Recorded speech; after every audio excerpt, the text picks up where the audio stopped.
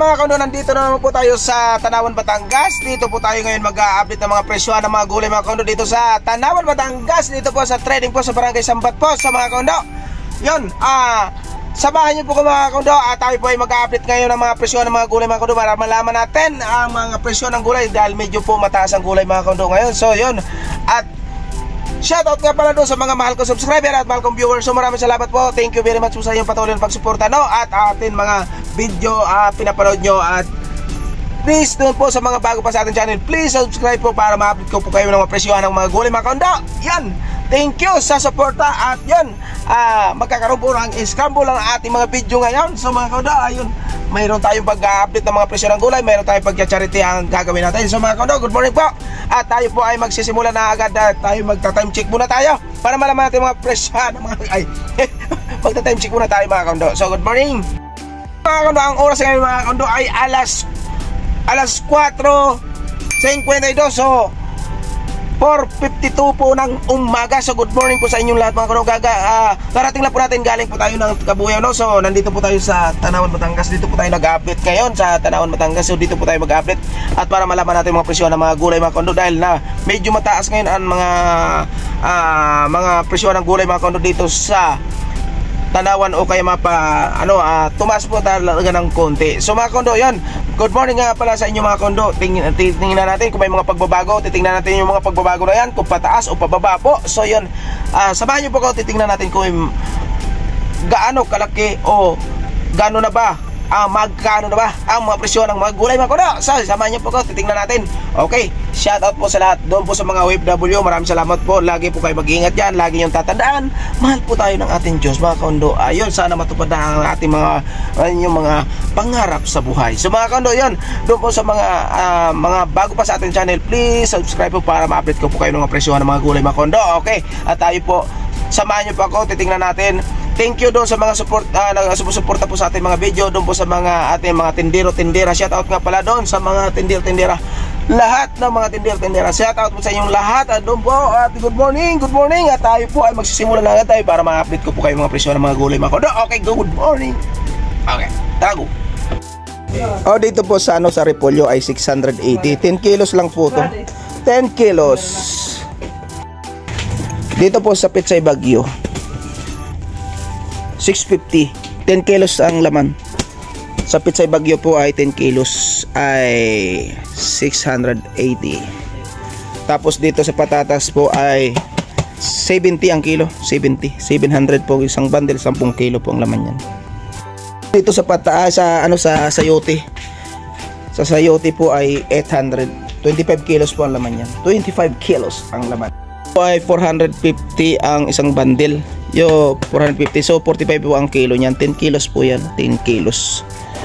10 kilos ay 4 450 po sa Labanos. Labanos napakaganda po ng Labanos oh. yun. Ito 800 25 kilos ang laman. Tapos dito ay ano uh, 650 650 650 so 10 kilos din ang laman. Tapos dito ay 70 700 po ang 10 kilo. So yun.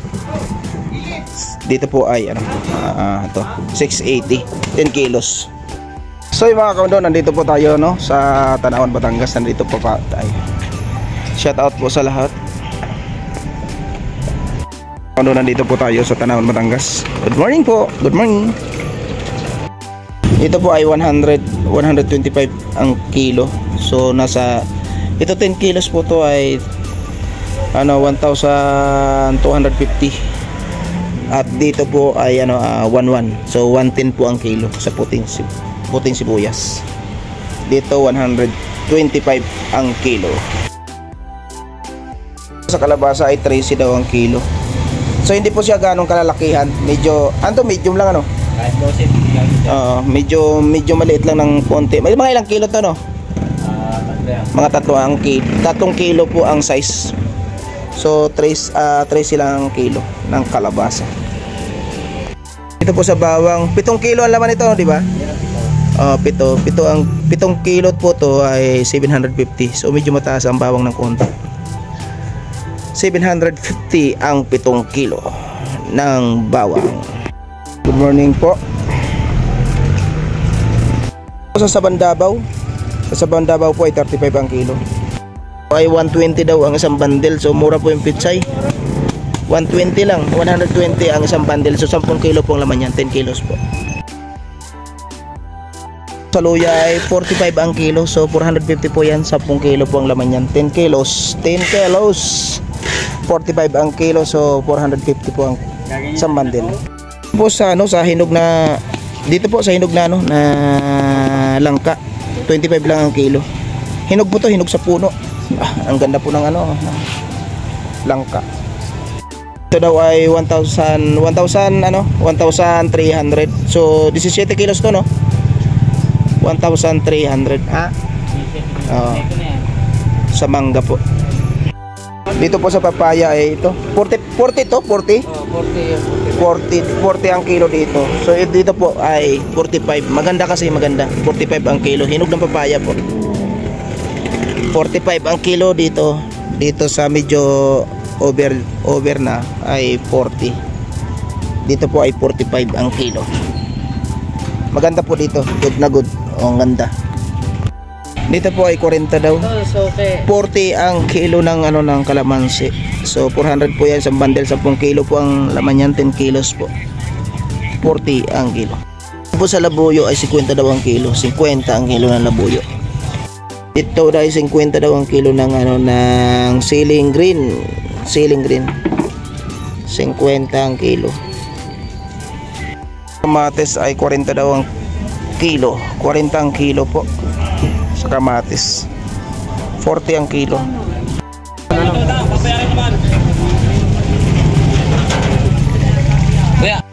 Dito po sa sitaw ay 100. 100 yung isang tali. So nasa isang isang kilo at kalahati ang laman. 100 sa sitaw. O, 100 pesos so isang kilo at kalahati ang laman. Sitaw. ayan na lang po. Ah, 40 po.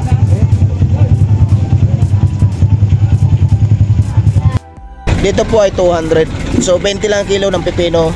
Pepinong bakla po to. Ito po pepinong bakla. So alanganing green, alanganing gr- ah, puti. Kaya tinawag ng bakla. eh. Shoutout po sa lahat. Nandito po tayo sa Tanawan, Batangas. Beans po ay ano 35 lang daw ang kilo. 35 ang kilo ng beans. Ay 100 100 ang kilo ng kinchay. Dito daw sa gabi ay 380. Dito po sa malalaki po, sa malalaki, sa over 250, 25 lang ang kilo ng gabi. Sa, pap- sa papaya daw ay 330. So 33 ang kilo. Kukuha ka ng marami, hindi bibigay ko ng 300. Ah, pag marami maramihan daw ay pag maramihan daw ay pwede daw ay 30 ang kilo. 30 ang kilo ng papaya. Sa puso daw ay 20 daw ang kilo, 200 isang bundle so 10 kilo po ang laman yan, 10 kilos. Sa pinya ay 25 daw ang isang piraso. So ayun. May isang kilo to, te, ano? Hindi. Mga isang kilo? Mm, 25 daw ang isang piraso sa pinya. Po daw ay 250 ang isang bundle. Maganda oh, 250. Balag yan, balag. Balag sa Oppo. 250 ang isang bundle. Ay hindi ganong kalakihan ng ano ng ampalaya. So 200 daw, 20 ang kilo. 20. So 200 po ito isang bundle. 10 kilos po yung laman niya. 55 daw ang kilo. Ay, may git isang kilo ba to? Ay, isang kilo talaga. Isang kilo. Sa okra po ay 25 ang kilo. Dito daw ay 500 580 so nasa 58 ang kilo ng kamote 58 ang kilo. 580 po yung isang bundle 10 kilo po ang laman yan 10 kilos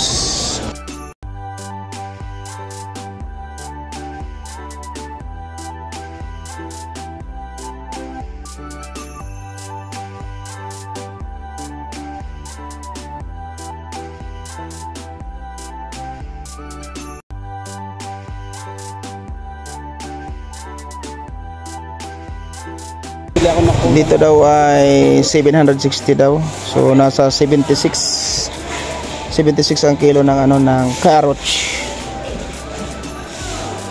760 76 ang kilo. 10 kilos po ang laman yan, 10 kilos. 10 kilos.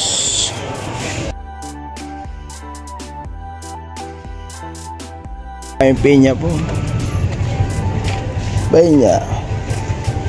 Dami mga prutas dito.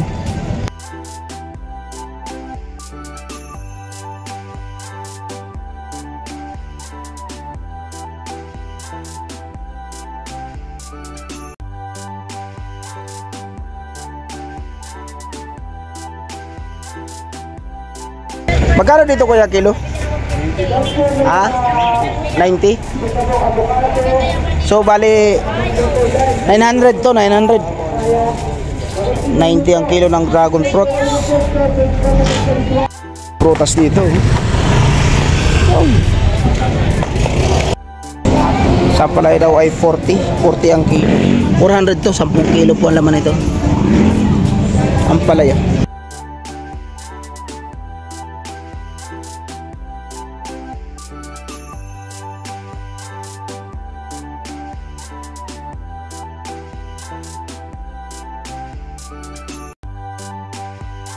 Kondo, ito po yung mga in-update natin mga kondo.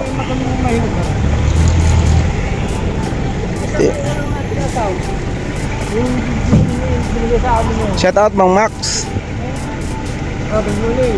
Yun oh. So yung mga kondo, ito yung mga in-update natin.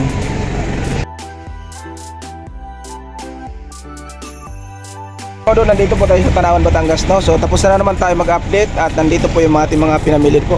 Ito ating mga in-update sa inyo. So, yon.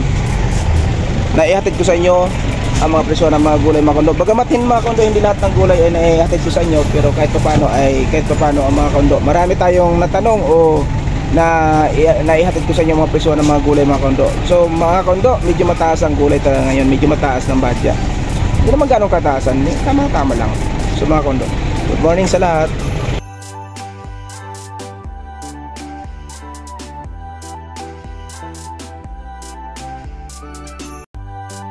Kondo, ito yung mga in-update natin mga kondo. So, yun. Ah, dala po natin yung lumang Kia natin. So, yun. Yung ating old Kia. So, yung mga shoutout mga kondo, ito yung mga in-update natin. Medyo marami rin po to mga kondo. Mga kondo, ah, pauwi na po tayo. Tapos na tayo mag, ah, mag-update na naman. No? So, naihatid ko na naman sa inyo mga presyo ng mga gulay mga kondo dito sa ah, Tanawan, Batangas. So, good morning po sa inyo at tayo po'y pauwi na. Papunta na po tayo ng Kabuyaw. So, Bagamat mga kondo, hindi lahat ng gulay mga kondo na ihatid ko sa inyo. So kahit pa paano ay marami po ang na-i-update ko sa inyo mga presyo ng mga gulay ko mga kondo dito sa Tanawan Batangas. So yun, good morning. Good morning po sa inyong lahat mga kondo. Maraming salamat po doon sa mga aking mga mahal na subscriber at mahal kong viewers. So maraming po salamat sa inyo. Thank you very much sa inyong patuloy na pagsuporta. No? At doon po sa mga OFW, lagi po kayo mag-iingat dyan. So mga kondo at maraming maraming salamat po. Doble ang ingat dyan. So thank you. Sana'y matupad na ang inyong mga pangarap. So mga kondo, yun. Magpapasalamat lang po tayo sa ating kargador.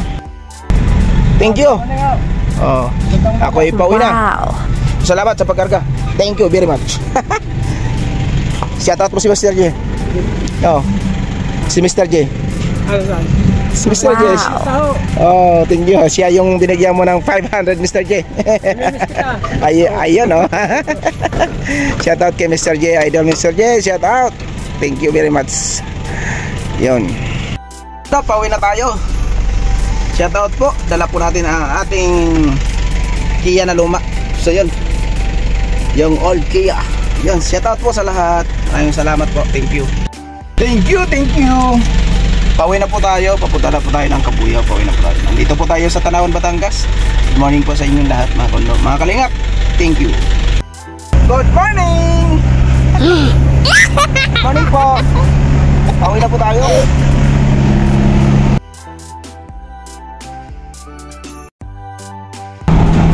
Yo, pauwi na po tayo. Good morning po. Shoutout po sa lahat. Good morning po.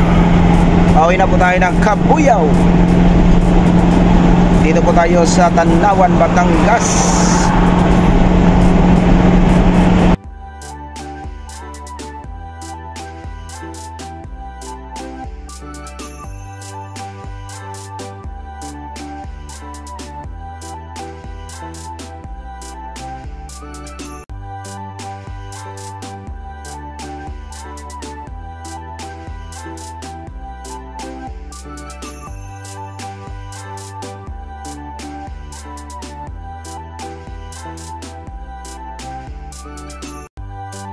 Few moments later. Mga kondo, nandito na po tayo sa Kabuya po. So galing po tayo sa Tanawan, Batangas. So mga kondo, maraming salamat.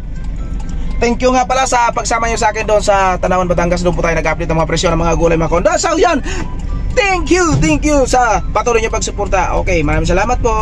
Thank you sa, ayun na, ibababa lang po natin yung mga gulay. So yung mga kondo, so yung mga kondo, tapos na po tayo. Tapos na tayo magbaba ng gulay. Itong saging na napakataba. Yan. Yan. Shout out Good morning! kay Mrs. Kaundo. Itong pantalong. 60 talong.